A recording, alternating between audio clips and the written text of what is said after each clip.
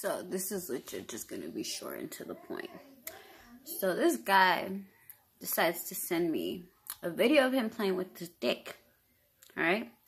I send him a dick pic back. And I told him, how do you like getting fucking dick pics sent to you? And by the way, my three-year-old saw this. And I'm gonna call the cops because of the simple fact that my daughter saw this. So get ready to register as a sex offender. His response was, you're spicy. And I called him and, and I told him, and you're a pedophile.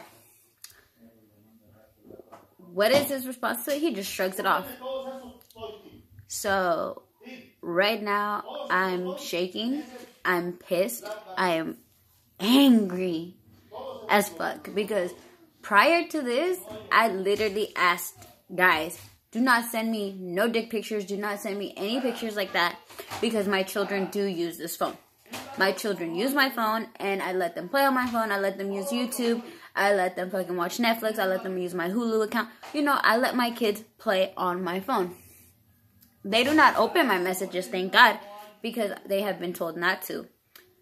But the plain and simple fact that this guy did not care that a three year old little girl saw his shit is fucking disturbing.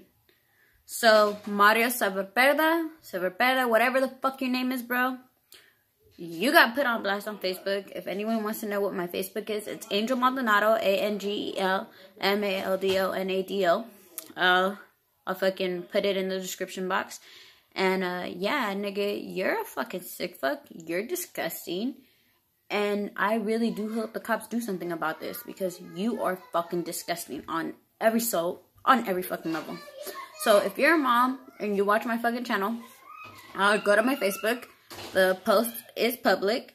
You can share it and I will show you his reaction. So thank you. Have a nice day. Bye.